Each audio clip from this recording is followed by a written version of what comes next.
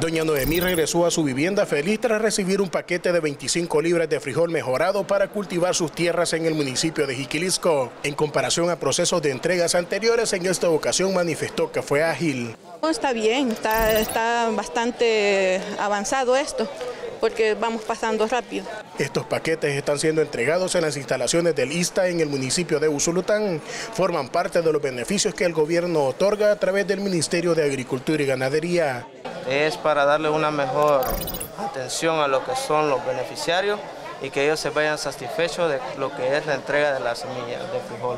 ¿Cuáles han sido los requisitos para que esta persona tenga esta semilla? Los requisitos se encuentran lo que son en las páginas del gobierno, en la página oficial del Ministerio de Agronomía. Ahí tiene que ser mayor de 18 años, copia de DUI y NIT, ampliada de 150, entonces, y lo principal que los oficios tienen que ser agricultor, ganadero, este, ama de casa o oficio doméstico, jornalero también.